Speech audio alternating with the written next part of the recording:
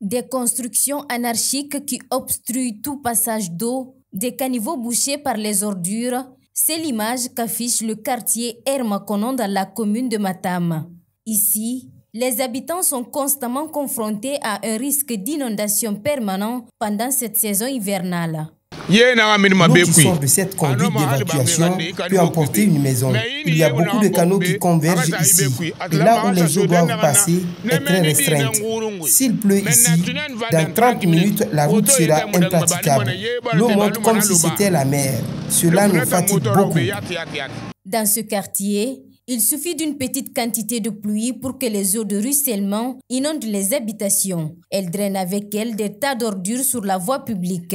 Difficile pour les usagers et les habitants de pratiquer cette route. Toutes les ordures qui quittent la colline se déversent chez nous ici. Le chef de quartier est déjà venu nettoyer, mais c'est comme si rien n'était fait. Quand il pleut, l'eau rentre dans nos maisons. Et cette route devient praticable.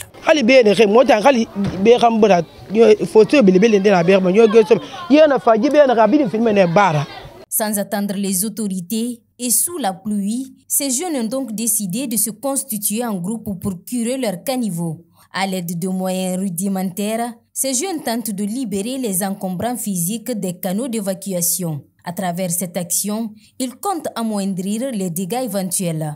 Quand il pleut, madame, il n'y aura pas de passage dans les, dans les routes ni rien.